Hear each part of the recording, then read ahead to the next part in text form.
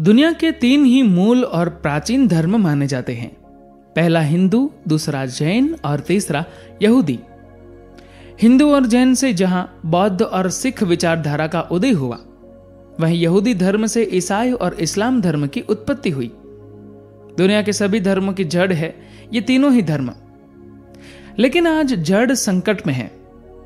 जड़ के संकट में होने के कारण ही दुनिया में आतंक, धर्मांतरण, जातिवाद और तमाम तरह की सांप्रदायिक राजनीतिक और आपराधिक सोच का बोलबाला हो चला है। तीन ही रास्ते हैं। पहला जैन का रास्ता, अनिश्वरवाद अर्थात ईश्वर जैसी कोई ताकत नहीं है। असंख्य आत्माएँ हैं और यह जगत आत्माओं का ही खेल है। सभी की शक्ति से महाशक्ति का जन्म होता है। सभी स्वतः स्पृत है। अपने आत्मा को इतना बड़ा करो कि तुम खुद ईश्वर का पद प्राप्त कर सको।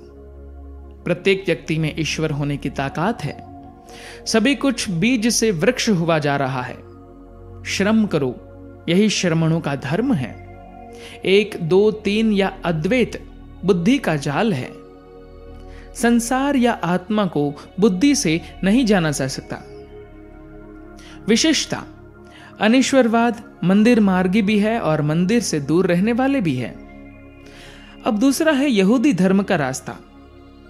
यहूदी धर्म का रास्ता कि ईश्वर है और ज़बरदस्त तरीके से है। जो ईश्वर को नहीं मानता, वह निंदा लायक है। ईश्वर ने ही यह संसार बसाया और आदमी को बनाया। और ईश्वर से डरना ज़रूरी है। ईश्वर के दूत पैगंबर को मानो। सब कुछ द्वैत है, अर्थात दो है। ईश्वर है और यह जगत है। ईश्वर न्याय करता है। इस धर्म की विशेषता एक ईश्वरवाद और मूर्ति पूजा पाप है। तीसरा रास्ता जो उपरोक्त दोनों रास्तों के बीच से निकलता है, इसलिए उसे विरोधाभासी माना जाता रहा है। वह है अद्वैत का मार्ग। अद्वैत अर्थात न एक और न ही दो और न तीन। अर्थात दो जैसा दिखाई देने वाला एक। इसका सीधा सा मतलब है कि वह है भी और नहीं भी। वह नहीं जैसा है या वह है जैसा नहीं है। इसे समझना मुश्किल है। इसलिए सिर्फ़ मान लो कि ब्रह्म ही सत्य है और सत्य ही ब्रह्म है। सत्य दो धातुओं से मिलकर बना सत्य और तत्व, अर्थात ये भी और वह भी। जो ऊपर उठता है वह ईश्वर है। और जो नीचे गिरता है, वह जड़ है।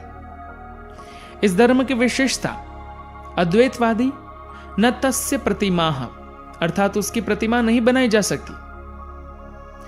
ये तीन तरह की विचारधारा का ज़िक्र, इसलिए कि आधुनिक दुनिया में उक्त विचारधाराओं को और उनके जन्म की परिस्थिति को कभी भी अच्छी तरीके से न तो समझ गया और न ही समझाया गया।